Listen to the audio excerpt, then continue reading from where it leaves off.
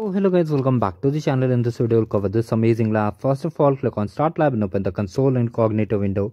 Now here, if you're new to this channel, do like the video and subscribe the channel. Here, just click on I understand and just click on agree and continue if you're getting any kind of pop-up. Now just stay tuned. Here, basically, we have to just open the VM instance and activate the Cloud Shell and create an API key and just test the API key. Let me show you how you have to do. First of all, click on I agree and then click on agree and continue. Now from here, you can see on the search box you have to just first of all come to task number one. Here you can see these are the tasks which we have to perform.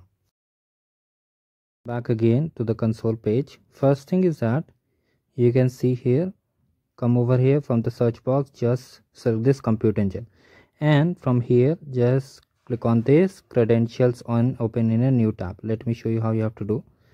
First of all come over here and just click on this credential right click open in a new tab. Now wait for this page to open. Now from here click on the vm instance. One thing first of all activate the cloud shell click on the button next to the gemini icon click on continue and then just authorize yourself. Okay just authorize yourself. And after that what you need to do if you are seeing this kind of error do not worry click on it click on authorize and again from the search box open the vm instance like this. Just open the vm instance compute engine and then vm instance. Here just click on the vm instance option and if you get any kind of random pop-up just close it. Now here you can see the down arrow. You have to just click on it. Okay.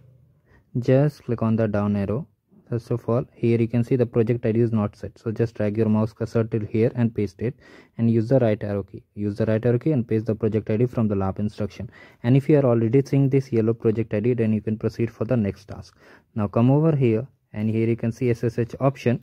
You have to just click on this down arrow view gcloud command run in the cloud shell and hit enter. Now here you have to just type y and hit enter twice. Let me increase the font size. Type y and hit enter twice again hit enter. And just follow as I am doing. Now if you get any kind of error just repeat the same procedure here. Now we have to just export the API key. So for that come over here to the credentials page. Okay first of all open any notepad. Now click on credentials create credentials and then API key create.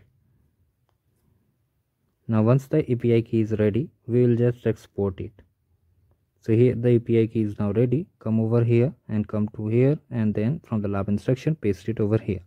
Now replace the export api key value. Select all. Paste over here like this. Now come over here and create the request.json file. Just run it like this. And after that you can see here we have to run the nano command. And just paste the file over here. Just control v and to exit control x y and then hit enter now just check the score for this particular task. And now just call the speech to text api run this one and run the another curl command.